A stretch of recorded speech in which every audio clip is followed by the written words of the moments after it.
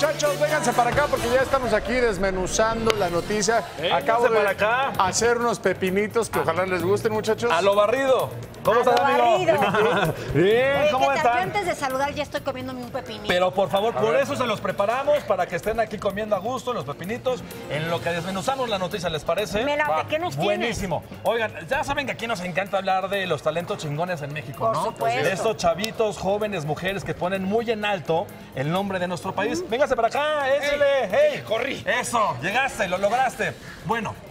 ¿Se acuerdan que estábamos platicando de estos 12 chavitos que Guillermo del Toro apoyó para que se fueran a Sudáfrica a una Olimpiada de Matemáticas? Increíble. Bueno, cuatro de ellos se trajeron medallas y dos más se trajeron una mención honorífica, o sea que lo hicieron muy bien. ¡Qué locura! Pero ahora les voy a hablar de otro chavito que también puso muy en alto el nombre de nuestro país y es que precisamente Iker Alonso Hernández, de tan solo nueve añitos de edad, ganó el primer lugar en un campeonato mental en China. No te lo puedo creer. Está cañón. Mira, él eh, compitió con 700 menores de otros 16 países e hizo mentalmente más de eh, 700 operaciones en menos, perdón, 70 operaciones en menos de 5 minutos. No te lo puedo Imagínate creer. que están diciendo esto por esto, más esto, Así le menos hacen mi esto. sangre. ¿Así? Sí, así es, Carlos. Sin poco más de tiempo, pero calculadora. sí. Como tú como en 6 minutos, ¿no? A ver, pregúntame algo. A ver, 25 por 22. 34. 5 por 8. 19. ¡Wow! ¡Wow! Hizo las operaciones mal, pero las hizo. Pero las hizo, Pero la de exactamente. hacer las operaciones. Bueno, la diferencia de Iker es que él sí las hizo bien. hizo buena onda. 70 operaciones en menos de 5 minutos y este chavito se llevó el primer lugar. ¿Cuántos en años este tiene Iker? Nueve años apenas. Nueve es años, originario del. Estado de México. Esas son las noticias que tienen que hacerse virales. Esas son las que debemos promover y que debemos... Y aquí nos encanta compartirlas porque nos hace sentir bien.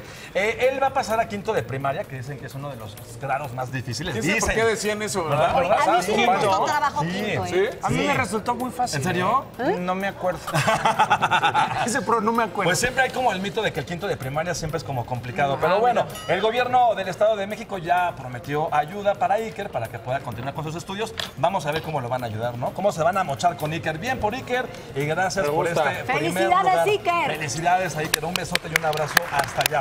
Oigan, seguimos con las buenas noticias. ¿Se acuerdan que ayer estábamos platicando, que por cierto ya tengo tu pedido, de estas pastillas que sirven para que tus flatulencias y tus gases Huelen a chocolate. y a? Chocolate o bombón. Te echas un gas. ¿Existen? Sí, ayer platicamos de eso. Bueno, a mí no me costaría nada de trabajo cambiar de rosas que normalmente huelen a chocolate. Sí, rosas. Sí, rosas. Y violetas. Pero bueno, ahora les traigo otra píldorita de la felicidad. y es que es una píldora que sirve ya sea para mantener la llama en el amor o para de plano olvidarte de aquella persona que ya no puedes escuchar Ay, no su nombre. Te hago un encargo ver, también. Para estar como... dos, dos cajas, dice. Dos cajas. ¿Cómo, ¿Cómo, Sabina? Pastillas para no soñar. Exactamente. Bueno, estas pastillas, el creador se llama Anders Sandberg y es un neurocientífico de la Universidad de Oxford. Y él dice que estas pastillas son como un antidepresivo, que funcionan con. te, te hacen sentir bien, te dan como locura, sentimientos positivos, todo lo que hace la, La droga, oxitocina. no, y lo que hace la droga, pero de una manera positiva. Ajá, de una cosa, de una cosa natural.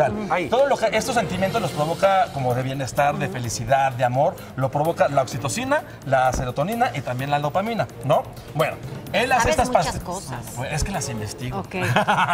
Entonces, dice que el- la oxitocina se produce primero en el hipotálamo, de ahí se va a la hipófisis y de ahí por el torrente sanguíneo pasa a los demás órganos. Entonces, esta pastilla va a cumplir con el mismo efecto que hace la oxitocina en nuestro cuerpo, que es precisamente el sentirnos enamorados de alguien. Oye, qué bonito.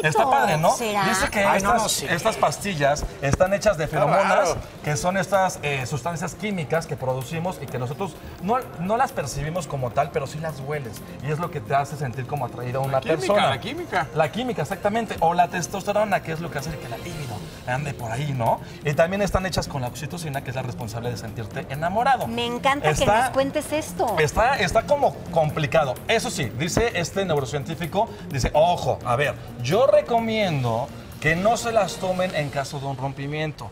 Porque tenemos que pasar por el duelo, tenemos que pasar por este proceso que nos trae enseñanzas, que, es nos trae madurez, que nos trae crecimiento personal. Estas pastillas yo las hice en caso de que realmente sea una cuestión de, de salud, ¿ya sabes? O sea, que sea una depresión muy severa. te estás cortando las venas. Exactamente, ya si estás muy en el tapete, ya muy en la lona, ahí sí que te las Es como la del día ¿Y siguiente, cómo? pero de la Oye, depresión. O sea, te enamoras de ti mismo. Pero ¿cuándo las vamos a poder comprar? En cinco años. Todavía no van a estar disponibles, sino hasta en cinco años. Pero bueno, ya te tengo tu pedido también. Vamos a pasar Órale, a otras verdad. cosas. Eh, eh, han salido muchos videos en internet de esto, gente xenófoba, esta gente racista, Sí. que agrede, por ejemplo, a nuestros paisanos allá en Estados Unidos, ¿no? Pero ahora, afortunadamente, les traigo la contraparte de todo esto. Vean lo que pasó allá en Nashville, en Tennessee, en Estados Unidos. Y es que una cadena humana de varias personas, entre vecinos y este, activistas de diferentes organizaciones, se agarraron de las manos así. Iban y llegó la ICE, es decir, la patrulla de migración, y se quería llevar a un paisano. Le dijeron, de esta cadena humana. No te lo llevas. Ay, no me Wow. digas. Hicieron la cadena humana, rodearon su automóvil para que este paisano se pudiera bajar de su automóvil y entrar a su casa. Y ya en su casa, evidentemente, no le pueden hacer nada. no pueden entrar. Ahí, está, mira, ahí estamos viendo las imágenes precisamente de cómo llega el ICE, que le llaman allá en Estados Unidos. Hacen la cadena humana entre sus vecinos. De Este un- cuate no había hecho ningún delito. no, había nada. Su único delito era estar ilegal en Estados Unidos, ¿no? Pero era una persona que paga sus impuestos, que está ayudando. Ahí está la cadena humana. ¡Qué Ahí no dejaron pasar absolutamente nadie. Le dijeron, métete a la casa. Nosotros te vamos a ayudar a regular tu situación migratoria en lo que todo esto se compone. Pero mientras, de aquí no se lo llevan. Hay ya que vi que se habían eso. anunciado las redadas masivas el fin de semana. Sí, que caray. decía, vamos por dos mil migrantes. Al final se llevaron 30 apenas, ¿no? O sea que, espero que nada no muere. Pero bueno, ya nos vamos.